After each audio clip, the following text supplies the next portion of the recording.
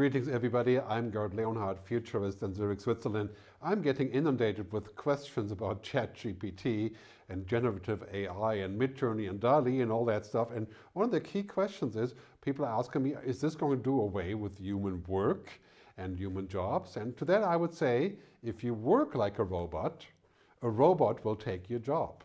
And I've been saying this for 10 years when it's about technology, but now we're seeing more proof of that with ChatGPT. If my work is robotic, monotonous, not creative, routine, monkey work, donkey work, commodity work, dirty, dull, and dangerous, and all of the things that don't require human ingenuity, then yes, these machines will take over and do that same work for us.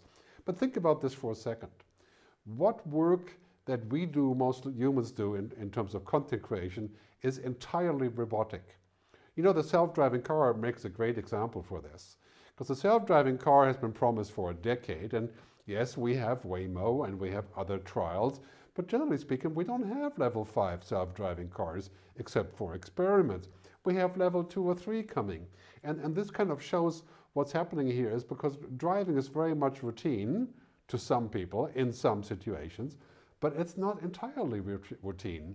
I think it'll be a long time before we can replace a human driver uh, or a human journalist right, based on what AI can do. AI can drive me safely when I fall asleep at the wheel, yeah, that's, it can take over and take emergency action.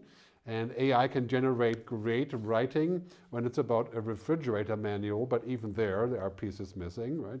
AI can probably help me to find new things in my own writing. I use this platform called Sudowrite, which is very good connecting to OpenAI's ChatGPT.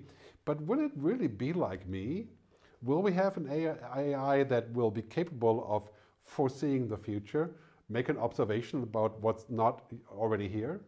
I I think what we're seeing right now is that AI in ChatGPT, as an example, does not generate new knowledge. It just finds old knowledge and brings it out again and puts it together like a, like a giant supreme noisemaker and uh, sort of, some people say, a diligent bullshitter. And as I said in my previous piece uh, on the video, it's kind of a stochastic parrot, you know, combining things from all over the place. It can sound amazingly human and real and imaginative and sometimes even funny, but behind it is no consciousness, right? No human agency, no understanding, no context.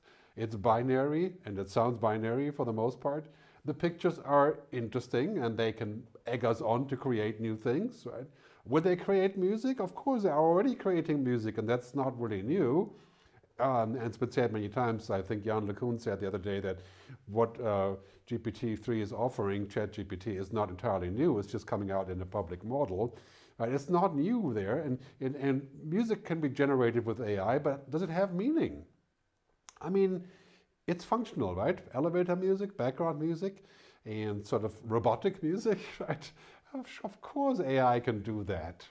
Uh, but does it, does it have any meaning? It's kind of like saying, okay, I'm going to generate a, a nutrition fluid that I can squeeze out of a tube, and that's my dinner, and it's the same than going to a French restaurant. Well, obviously it's not right? It will still nurture me, you know, I guess astronauts have to deal with that every day, I suppose, but it, is it food? It's not really food, right?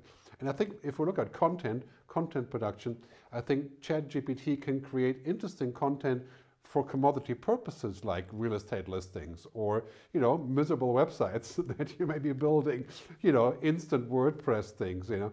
And I think this is not so much of a worry that it will replace us as creatives. I, I kind of doubt it until it develops really kind of a semi-sentience. I think that's quite un, uh, unlikely.